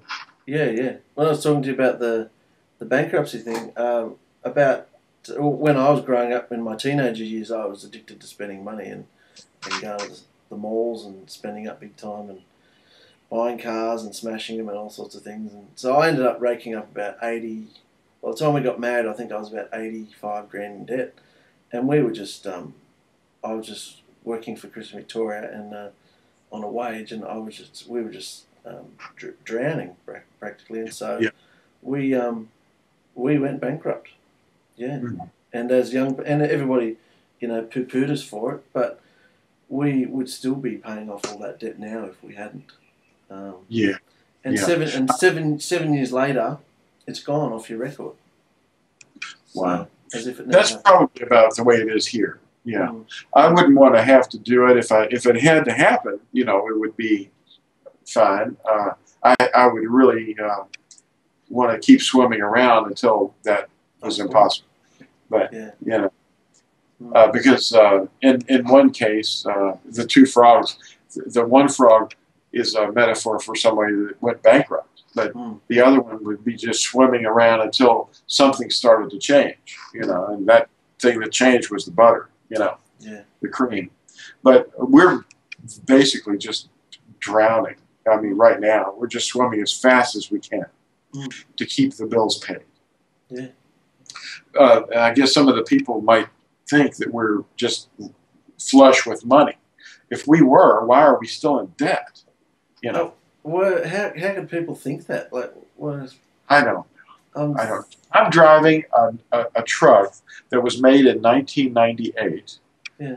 And Phyllis's car, and I'm we're blessed to have both, uh, is a 1997, and they're both uh, getting very very old. They're rusting a little bit. We were trying to take care of them, but we we do take care of them. And you know these are the we, if we were making money, uh, and keeping it, we have to put money in from what we make, Hmm. everything, and it's it's a matter of uh, what would we like want to buy a newer car, you know, or something, you know, yeah, you know. In fact, Phyllis is saying this thing's getting old. Her window doesn't work. The electric is, I mean, it's nice that she has electric windows, but her her driver window doesn't work. Hmm. The uh, oh, there's lots of problems. It has an oil leak. The uh, the thing that I think it's called a some kind of a thing in the I forget what it's called. But it's a it, there's a big uh, part of the engine that bolts down on top, and it's got a seal, Hmm. and it's uh, leaking, and it's leaking.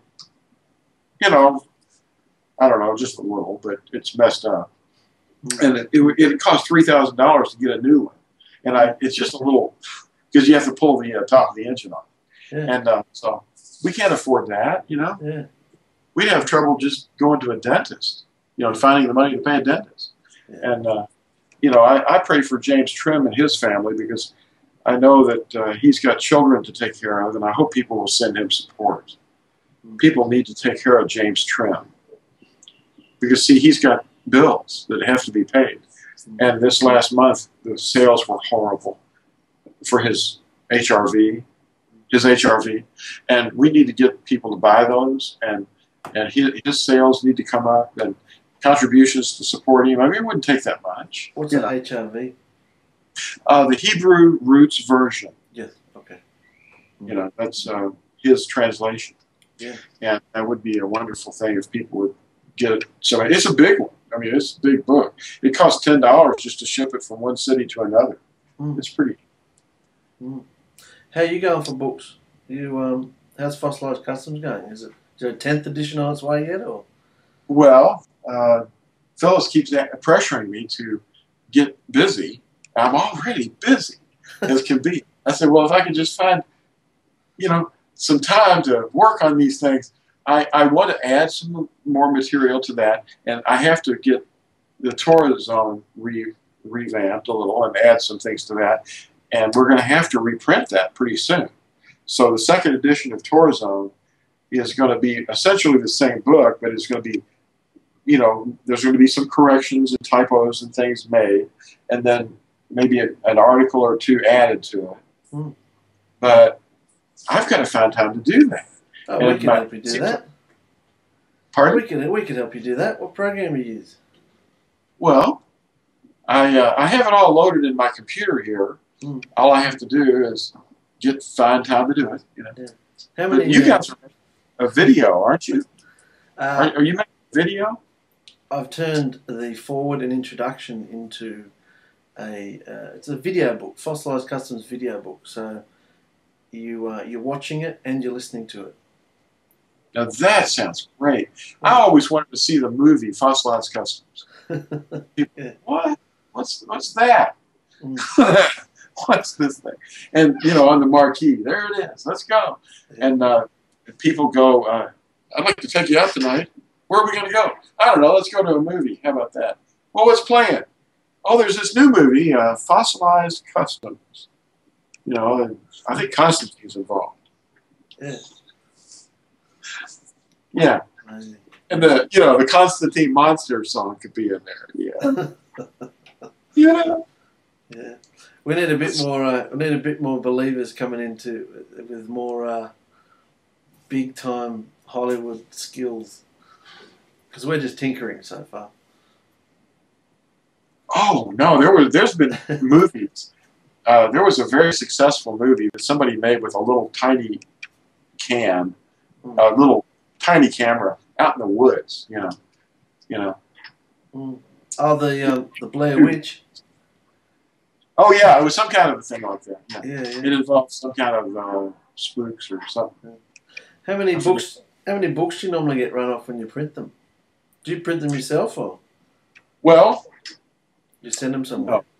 No, we don't print them. We don't have any capabilities, but there are printers in the park, uh, the business park that we are located in, which is just about a kilometer away from this huge mega Christian outfit, you know, that's called Southeast.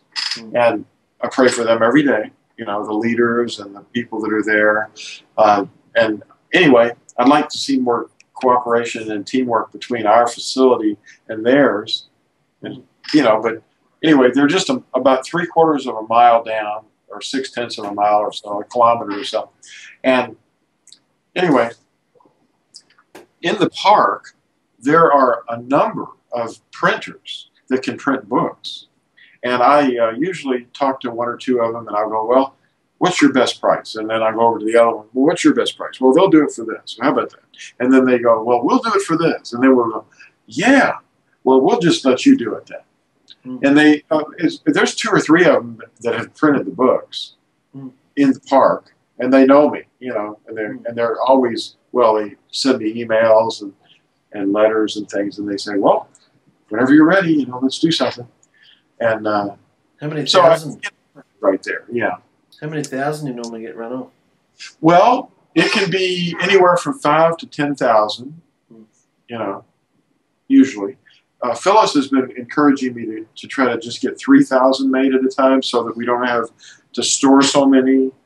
You know, but if we could get five thousand, that would be efficient. You know, that sounds like a lot, but uh, most of the runs that we've made, most of the editions had uh, at least ten thousand. I haven't ever seen anything less than that. At, at least not since the first edition. I think the first edition was five thousand, if I, my memory serves. And then my uh, second or third edition was thirty thousand. I think it was. So there's been a lot of different numbers popping around. I can't remember exactly, but most of the time it's never been less than ten. Mm. So there's a lot of those books out there around the world. How many ninth editions did you get done? Ten thousand. Ten thousand. And what are you down Yeah. to? Well, we're halfway through them, roughly. Mm. So I'm not really in danger of needing to reprint them soon, but Yeah. I could probably go another eight or ten months. That's amazing. That's now we know why you're so hated. That's so many. Th- that's like a hundred thousand books or so in the world. Oh, it's more than that. More than Yeah, that. it is. one hundred thirty-five thousand, I think it is. Because you know, I had printed some many editions of the fascicles uh, ever since like 1986 or 87. It started in 1986 or 87. Uh, I didn't put dates in the books, but uh, and then the first uh, actual book came out in 1997. Hmm. You know. Wow. So for 10 years, I was putting out Fossilized Customs, Fascicle 1, Fasc- and Fossilized Customs, Fascicle 2. Fa- there were four fa- fascicles. Hmm. You know, have you ever seen those? No, no. I should bring them so that I don't have any here that I know of. And uh, I should bring them and show them to you. Because Amy wants to write a book. Wonderful. Wants, she wants to write a book about uh, Torah, Torah, ki- yeah, raising children in the Torah and nutrition, and oh, just all those sort of things. Yeah, just things that she's learned. Let me see if I if I can find something. Yeah, yeah. Yeah, I think I see one.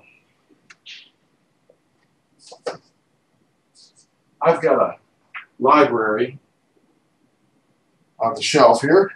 Actually, several shelves. Let's see what this one is. Fossilized Customs Historical Sun Cults, Fascicle 1. This is my first one. Is? This His- is what historical sun cult. Wow. historical sun cults. Mm. And it says, see definitions and glossary, fascicle 2. Mm. Oh, I had a glossary in, sec- in the second fascicle. Anyway, the fascicle is just a fancy word for part Yeah. or a portion, you know, a portion of something larger. Fascicle. Anyway, there's our man. He's got his little ding dong, ding dong, you know, I don't know if it's a wine cup or a bell. Bring But anyway, closer. that's Bring it closer. okay. Ah, yeah. Historical sun cult. And then down here it says, uh, most important note, be sure to finish reading fascicle 1 before moving on to fascicle 2. and then the back of it it has a depiction of the rosary, Yep. and it looks a little bit like a big ankh. Yep. And then it discusses a little bit about the rosary. And of course, uh, there's me as a young man. Phyllis Phyllis? next to me. With the long hair? Yeah. hair. Wow. Oh yeah. That's just a little picture of me in the back, and not not that I was boasting. It was just something that I wanted people to understand who the author was. And Yeah. a lot of books have pictures of the author, but Oh, yeah. you know that's it's the, it's the last page. You know, come on. It's not like hey, but I, I've got my my picture in some of the earlier pages. But here's some more pagan symbols. Yeah. This is the inside cover. See, can you see a little bit of that? Yeah, yeah. Anyway, just goes on and on. Uh, and this this doesn't seem to have any page numbers either. So that was before I knew about page numbers. But you know, Phyllis has been hammering me for a long time to go back and review and do some things over that were never recorded. Hmm. You know, seminars that I've had. There were a lot of seminars that I had when we were at the bank building Hmm. at, at that facility, and they were never recorded. Well, that'll make it easy for you as far as research. Redo something. That'd be great. Yes, it would, but Put a uh, modern spin to it. put a modern spin to it. Yeah. Yeah, yeah. And in Well, the news, I- in the newsletter, uh, Phyllis was saying as she sent through stuff that you're putting together another immersion study. What's wrong with the other? What's wrong with the last one? You know, that is another one that would be a good one to do. Hmm. I think didn't we record that? I don't know if we did. I don't think I recorded. No, I, I did a documentary on it. That's what it was, and it's wonderful. But if I was to do another one, it wouldn't uh, be exactly. Well, it would, it would contain all the uh, main elements. However, I want to bring up something that is a concern for a lot of people, and that is the people that say, "But I have to go to see someone, don't I?" You know, and it would be nice if they did, but here's the thing: uh, it's it's a matter of what they're saying not what somebody else next to them is standing there is saying. And that's what the main difference to me is. When we understand the tradition that came from that, we sometimes are uh, accepting the fact that someone else is baptizing us or immersing us in the name, when in fact we're the one that's making the pledge. And it's our conscience and our commitment, no one else's, and we have to utter with our own voice. But here's the th- here's the precedent. The precedent is hidden away, although some people do touch on it. In the book of Second Kings, I believe it is, if you will read the whole chapter of Second Kings, chapter chapter five, yeah, it's uh, the subject of the chapter is Elisha, and Elisha, and You have all this the You have all the answers on your wall, do you? yeah, back here in the Hanging Gardens, Yeah. we've got the uh, we've got these words that are just hanging in space. Yeah. Uh, and his name is Naaman or Naaman. His name usually is pronounced Naaman, and he's some kind of an Assyrian battle general, and I he remember that story. Yeah. and he's raiding some of the Israelite camps, and he takes a young girl out of one of the camps, and she becomes a servant in his house, and she and this this kidnapped servant girl from Israel says, "My master would not be so eh, have to suffer so badly if you would just go see Elisha. He could heal you." and he uh, thinks nothing of it for a while and then says, Well, why not? Let me just go do that. And then he goes on this long journey. I mean, a long journey. Yeah. And he goes to see Elisha. And he's gets there, and a servant of Elisha's comes out and says, What's going on? And he says, I'm here to see Elisha.